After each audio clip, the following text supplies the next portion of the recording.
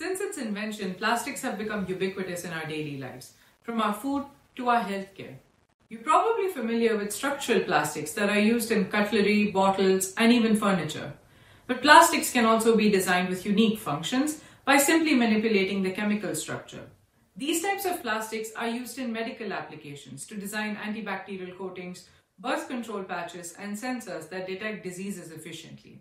However, the big challenge with plastics today is pollution. Plastic waste is not easily biodegradable.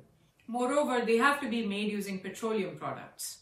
For this reason, we have started replacing structural plastics like cutlery with biodegradable alternatives that are made from naturally derived substances. But can we do more?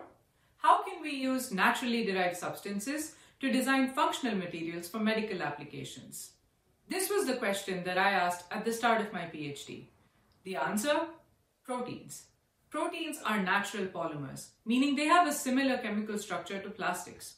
More importantly, nature designs them with unique functions that govern all life processes. Plus, they're inherently biodegradable and generally safe, making them ideal for medical applications. The big challenge with proteins, though, is that they dissolve really well in water. So you can imagine what happens to a protein-based material when I stick it inside a human who is 70% water. Our solution to this is called fluorous curing. It's actually really similar to frying an egg. You see, egg whites are made up of proteins. When you heat up an egg during frying, these proteins unravel and become insoluble due to a process known as denaturation, as shown by the red arrow. But when a protein denatures, it also loses its unique function.